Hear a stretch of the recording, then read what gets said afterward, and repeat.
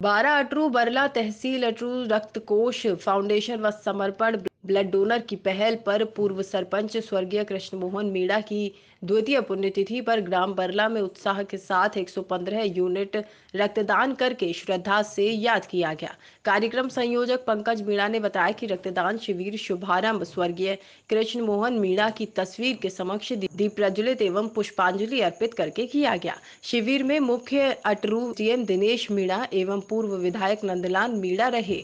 विशिष्ट अतिथि के रूप में भाजपा जिलाध्यक्ष जगदीश मीणा, पूर्व विधायक रामपाल मेघवाल, भाजपा मंडल अध्यक्ष रुद्र प्रताप सिंह, नवोदय विद्यालय प्राचार्य रामकेश बेरफा, फाउंडेशन के राष्ट्रीय संयोजक डॉक्टर अनिल मरमेट चंद्रप्रकाश काचरा अध्यक्ष मंदिर निर्माण समिति अटरू सहित ने भाग लिया।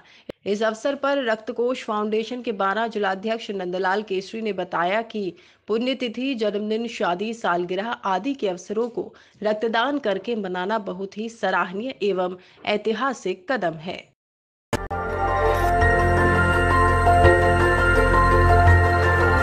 देखते रहिए डीवी भारती समाचार।